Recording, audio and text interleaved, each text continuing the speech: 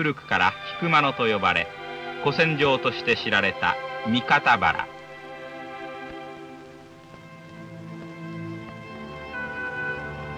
6000ヘクタールにも及ぶこの大地を農地として利用することは誰もが考えまた長い間開発のための努力が続けられてきました。しかしこの大地は水の取り入れが困難なため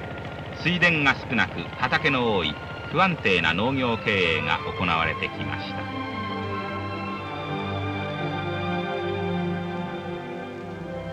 大地に水を引く計画はこれまで幾度かありました。中でも昭和23年から農林省の手で行われた三方原開拓建設事業は浜名用水から水を汲み上げ600ヘクタール余りの水田造成に成功しました。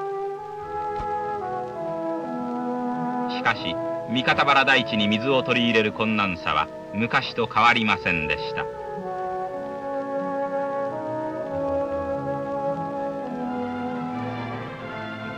一方浜松市を中心とする工業地帯で使用される工業用水は現在ほとんど地下水に頼っていますが1日の必要量は20万トンを超えますます増加の一途をたどっています。浜松地方は工業地帯として発展を続け中でも三大産業の一つ織物関係には大量の水が必要です。しかしこの地下水にも限度があって最近は汲みすぎによって水位が下がり南部では海水の塩分が混じって工業用水として役立たないところも出てきています。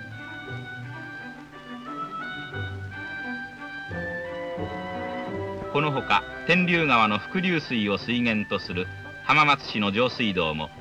最近の人口増加による上水道の需要急増に追われています。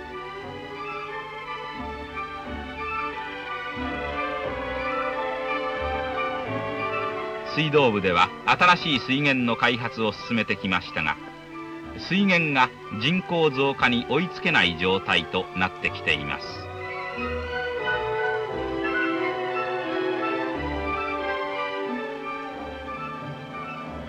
こうした農業工業上水道用水の行き詰まりを解決するため昭和25年国土総合開発法の制定とともに三方原は天竜東三河特定地域に指定されました。そして昭和29年天竜川の水力資源の開発を主軸とした三方原農業水利事業が閣議で決定されました。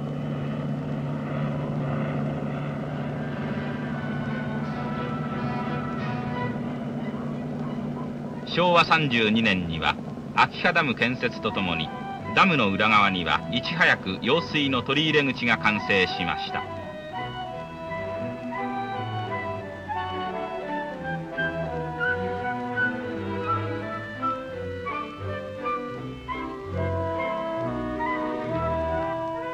そして昭和33年それまで5年間農林省の手で行われてきた地味ながら精密な調査の集積三方原用水全体計画書が完成したのです。この頃地元でも用水受け入れの準備が進み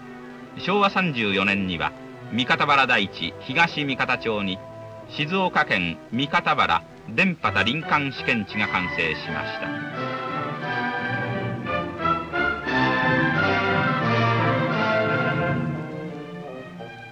この試験地では3800ヘクタールの農地を水田畑と23年おきに使う電波田林間栽培を目的に米麦から果物までこの大地に最も適した営農方法の研究が続けられています。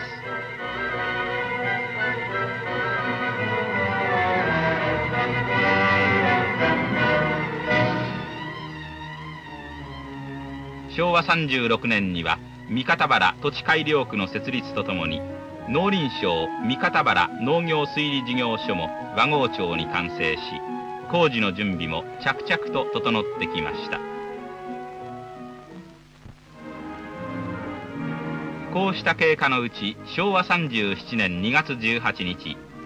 三方原台地の南端初追町にある北西中学校で起工式が行われました。式には関係者800人が参列し農林大臣代理の小野農地局長の手でくわ入れが行われました。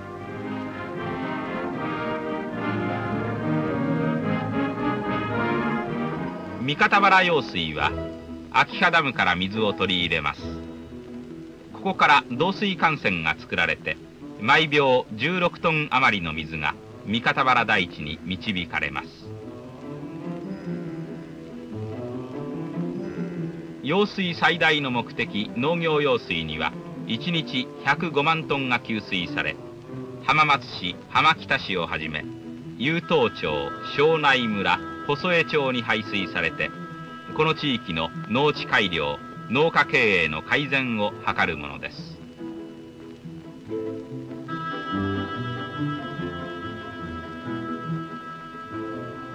工業用水は製塩工業用水として県営事業で行われます。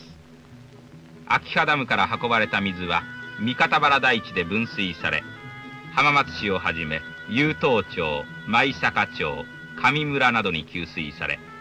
新しい大工場の進出が期待されます。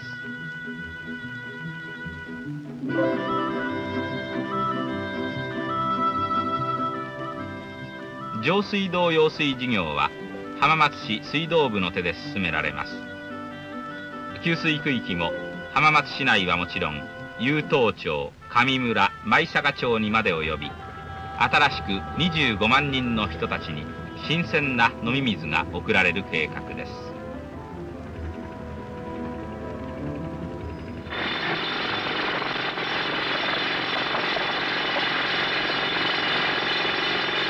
昭和37年12月秋葉ダムのある立山村西川の山あいに削岩機の音が鳴り響き三方原用水事業の工事の幕は切って落とされました。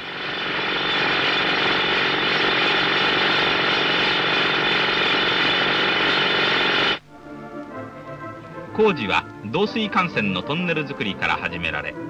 まず本校から出る土を地上に運び出したり資材や機械類を運び込むための車高掘りにかかりました。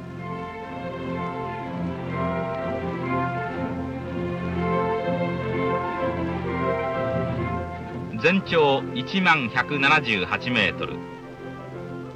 導水トンネルとしては日本一の長さを持つこの1号トンネル工事には工事の能率を上げるため西川をはじめ津行横山の3地区で山の中腹へ車高を掘りこの工口から掘り進む工事が計画されました。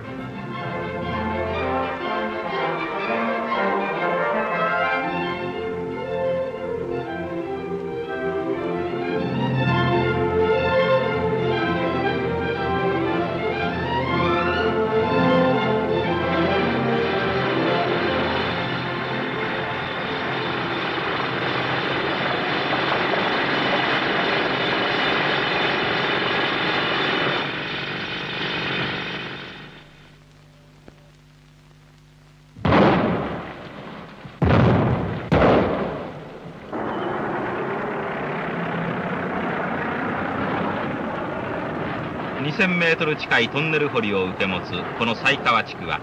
資材を運ぶ道が細いため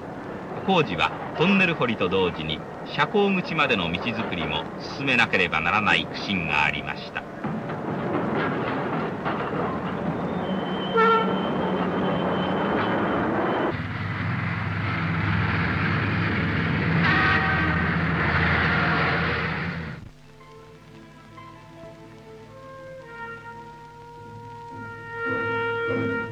同じ頃西川よりずっと下の天竜市津行地区でも工事が開始されました。車高194メートル本校の長さ3500メートル。トンネル工事で一番長いこの区間は地盤も良く工事は予定を上回るスピードで順調に進みました。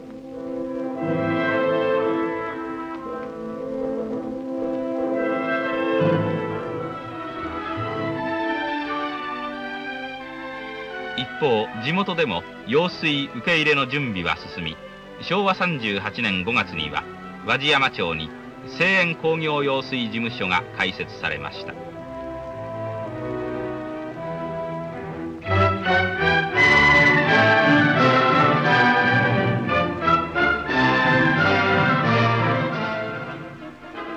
工事も早速始められ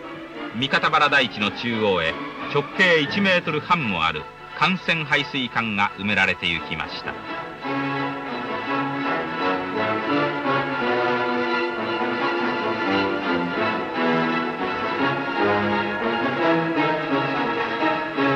また初追町にある工業用水浄水場用地では新型の土木機械も使われて整地作業が始まりました。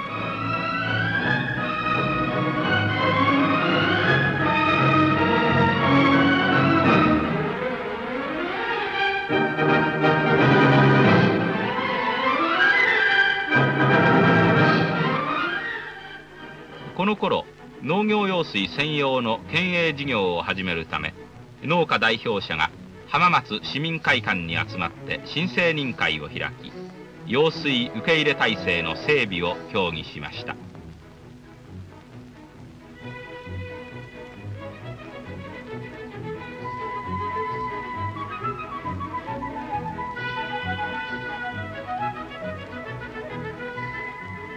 昭和37年の暮れには天竜市横山地区でも工事に備え道づくりが地元の人たちの協力で順調に進みました。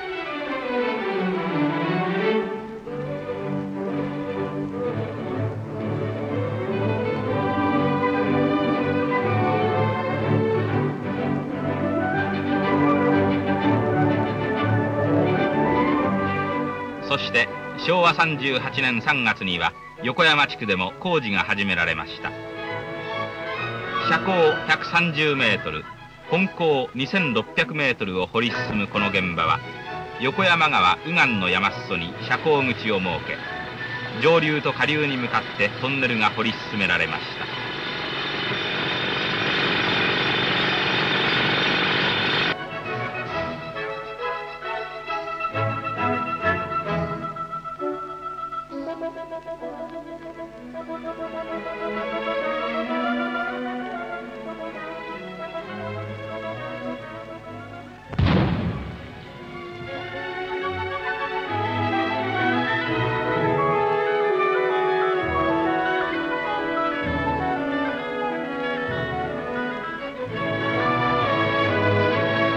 工事現場にはこの用水事業に関心深い人たちが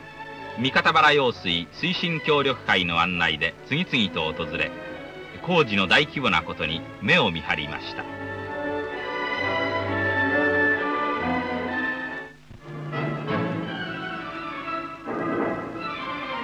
昭和38年9月にはこの区間最後の工区天竜市家老沢でも工事が始まりました。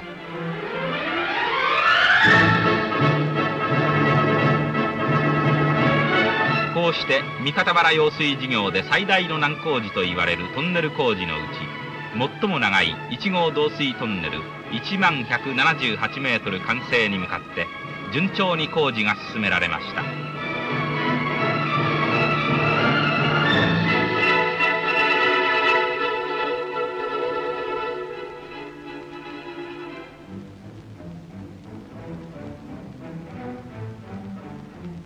そして昭和39年7月犀川横山間のトンネル貫通に続いて7月23日横山津行間のトンネルにも最後の葉っぱがかけられました。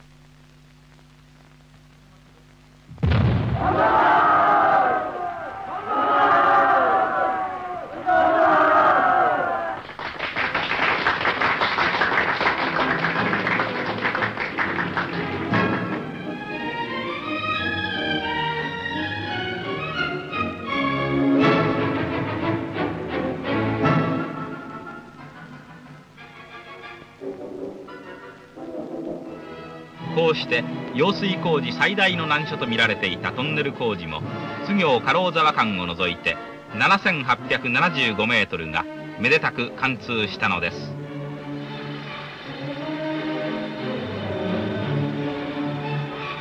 明治以来私たちの祖先が幾度か計画しては果たされなかった夢三方原用水は今実現に一歩一歩近づいているのです。後期10年総事業費160億円をつぎ込むこの大事業の完成は長い間活用されなかった三方原をよみがえらせるだけでなく浜松を中心としたこの地方発展に大きな希望を与えてくれることでしょう。